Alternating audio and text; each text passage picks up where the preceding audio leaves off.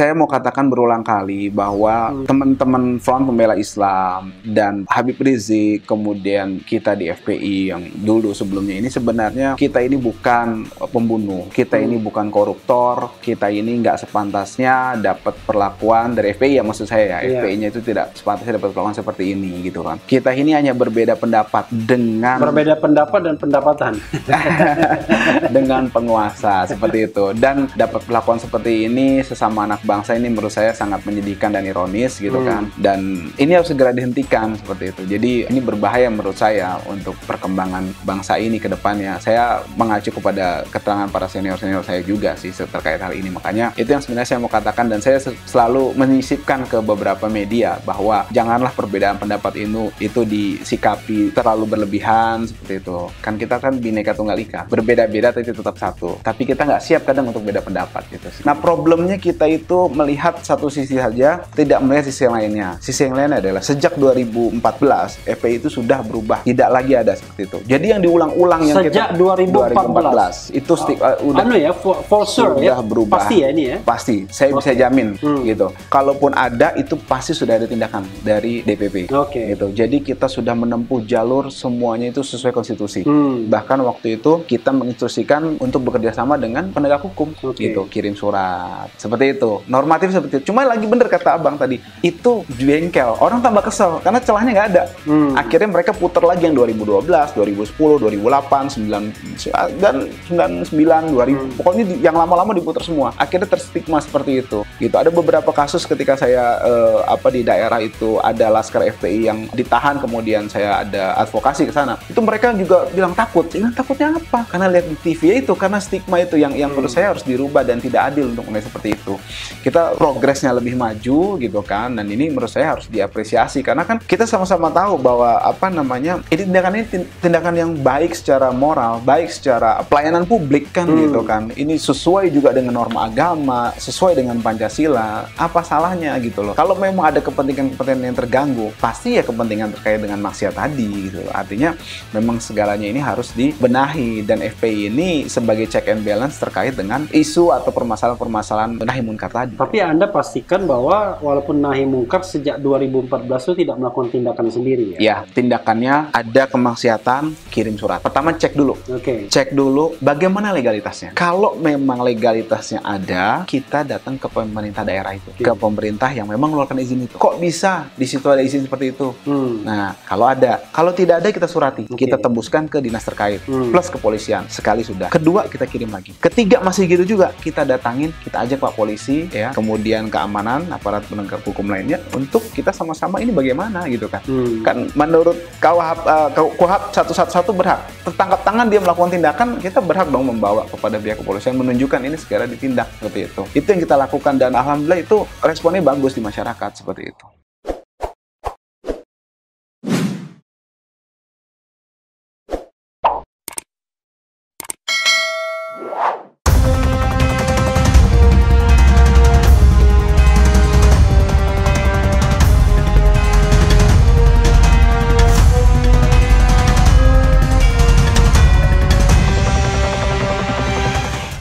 saya mau katakan berulang kali bahwa Hmm. teman-teman Front Pembela Islam dan Habib Rizik, kemudian kita di FPI yang dulu sebelumnya ini sebenarnya kita ini bukan pembunuh, kita Hmm. ini bukan koruptor, kita ini nggak sepantasnya dapat perlakuan dari FPI ya maksud saya ya, Iya. FPI-nya itu tidak sepantasnya dapat perlakuan seperti ini gitu kan. Kita ini hanya berbeda pendapat dengan Berbeda pendapat dan pendapatan.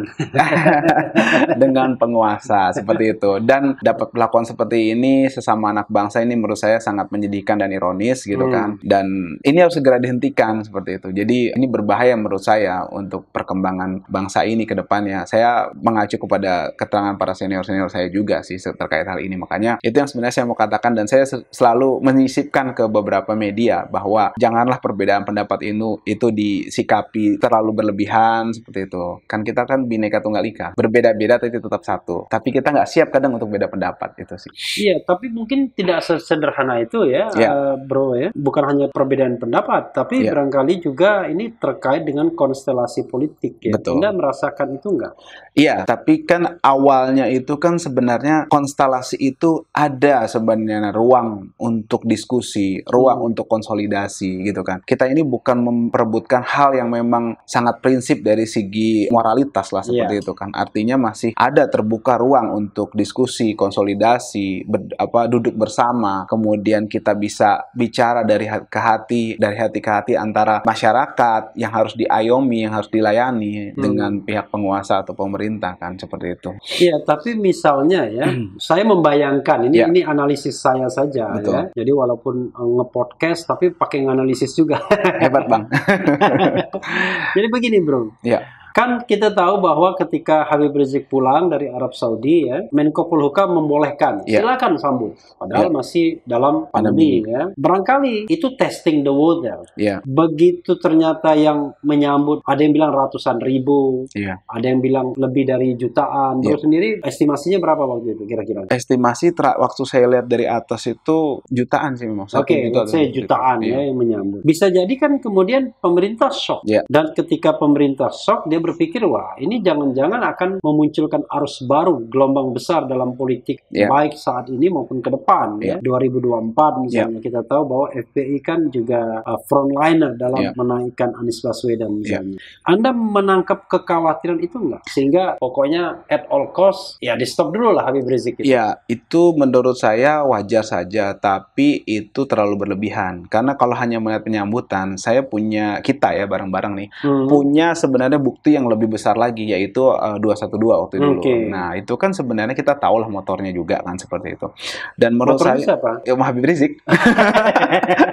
Habib Rizik dan FPI kan. Iya, jadi, itu kan makin uh, menegaskan dong berarti. Iya, artinya kita bisa melihat bahwa ini lebih besar dan dari 212 itu sampai sekarang kalau memang Habib Rizik dan tim ingin sebagaimana suuzon atau tuduhan tadi itu kan sudah terjadi. Ini kan enggak. Saya dapat pastikan ya, memang Habib Rizik ini concernnya memang ke bagaimana amar ma'ruf nahi munkar dapat dijalani. Lalu kalau sudah benar gimana? Kita tidur, senang, istirahat saja seperti itu. Ya oke lah. Ini saya saya katakanlah berpikir seperti orang yang mengkritik Habib Rizik ya, Ya. anggap Hmm. saja. Amar ma'ruf nahi mungkar. Ya. Kalau amar ma'ruf is okay Ya. ya. Amar ma'ruf kan gampang. Iya. Tapi nahi mungkarnya itu yang orang kemudian protes. Misalnya sweeping ya kan. Ya. Eh, katakanlah sweeping cafe. Iya. Ya beberapa kegiatan-kegiatan yang selalu menjadi memori publik ya, Ya. kolektif memori ya of the public. Ya. Nah itu bagaimana? Karena kan negara ini kan negara yang berdasarkan atas hukum. Ya, jadi gini Bang, saya minta maaf nih kalau memang saya agak grogi karena saya jujur mengidolakan Bang Refli.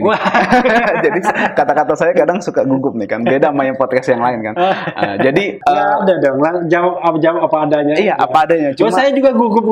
cuma kekaguman itu kadang menghalangi gitu. Oke, oke, silakan, Jadi gini silakan. bang, bahwa kalau ada yang mengatakan bahwa nah- nahi munkar itu, itu saya setuju. Memang stigmanya seperti itu. Hmm. Nah problemnya kita itu melihat satu sisi saja, tidak melihat sisi yang lainnya. Sisi yang lainnya adalah sejak 2014 FPI itu sudah berubah, tidak lagi ada seperti itu. Jadi yang diulang-ulang yang Sejak kita 2014. 2014 itu sti- uh, udah anu ya, for, for sure ya. sudah berubah. Pasti ya ini ya. pasti saya bisa Oke. jamin Hmm. gitu. Kalaupun ada itu pasti sudah ada tindakan dari DPP. Oke. Gitu. Jadi kita sudah menempuh jalur semuanya itu sesuai konstitusi. Hmm. Bahkan waktu itu kita menginstruksikan untuk bekerja sama dengan penegak hukum Oke. gitu, kirim surat. Seperti itu. Normatif seperti itu. Cuma lagi bener kata Abang tadi, itu jengkel. Orang tambah kesel karena celahnya nggak ada. Hmm. Akhirnya mereka putar lagi yang 2012, 2010, 2008, 9 dan 99, 2000. Hmm. Pokoknya di- yang lama-lama diputar semua. Akhirnya terstigma seperti itu. Gitu. Ada beberapa kasus ketika saya eh, apa di daerah itu ada laskar FPI yang ditahan kemudian saya ada advokasi ke sana. Itu mereka juga bilang takut. Saya bilang takutnya apa? Karena lihat di TV ya itu karena stigma itu yang yang menurut Hmm. saya harus dirubah dan tidak adil untuk mulai seperti itu.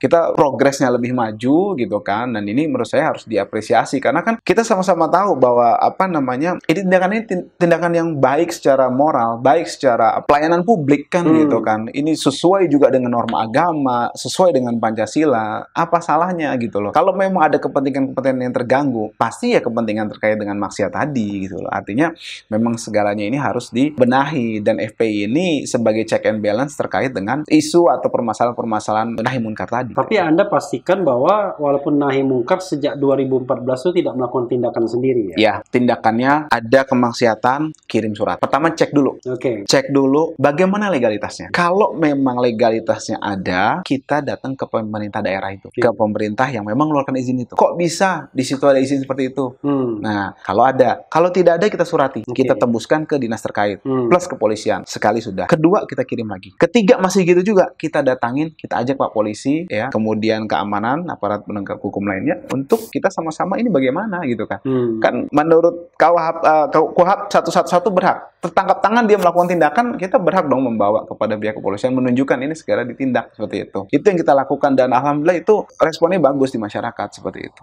Ya pantas saja dimusuhin oleh orang-orang yang berusaha di bidang kemaksiatannya gitu.